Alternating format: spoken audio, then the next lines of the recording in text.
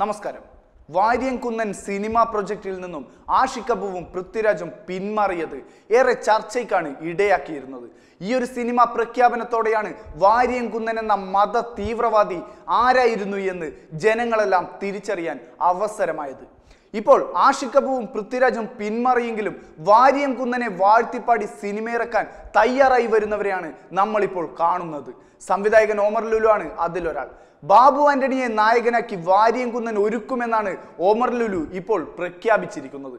Facebook പോസ്റ്റിലൂടെയാണ് Omar Lulu ഇക്കാര്യങ്ങൾ പറഞ്ഞത്. അതും മലയാള സിനിമ ഇന്നേ വരെ കാണാത്ത ആക്ഷൻ രംഗങ്ങൾ ഉൾപ്പെടുത്തിയാണത്രേ സിനിമ നിർമ്മിക്കാൻ ഒരുങ്ങുന്നത്. പ്രീ ബിസിനസ് നോക്കാതെ ബാബു ആന്റണി ഇച്ചായനെ വെച്ച് ഒരു പതിനഞ്ച് കോടി രൂപ മുടക്കാൻ തയ്യാറുള്ള നിർമ്മാതാവ് വന്നാൽ മലയാള സിനിമ ഇന്ന് വരെ കാണാത്ത രീതിയിൽ ആക്ഷൻ രംഗങ്ങളുള്ള ഒരു വാര്യം കുന്നൻ വരും എന്നാണ് ഒമർ ലുലു ഫേസ്ബുക്ക് പോസ്റ്റിൽ കുറിച്ചിരിക്കുന്നത്. ഒമർ ലുലുവിന് നിർമ്മാതാവിനെയാണ് ആവശ്യമെങ്കിൽ നിർമ്മാതാവാകാൻ തയ്യാറുള്ള മറ്റൊരാൾക്ക് നായകനാവാൻ തയ്യാറുള്ള ഒരാളെയാണ് ആവശ്യം.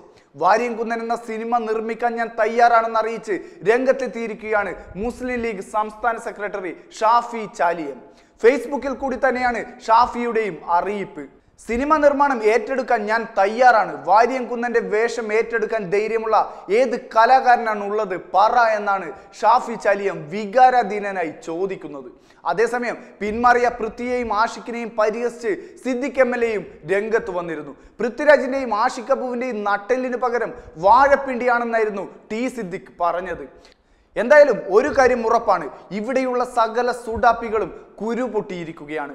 വാര്യം കുന്നൻ എന്ന മതഭ്രാന്തനെ വെള്ളപൂശാൻ ശ്രമിച്ചതൊക്കെയും പാടെ തകർന്നടിഞ്ഞതിലും വർഗീയവാദികളുടെ തനിനിറം പുറം ലോകം തിരിച്ചറിഞ്ഞതിലും അവർക്ക് നന്നേ വേദനയുണ്ട്.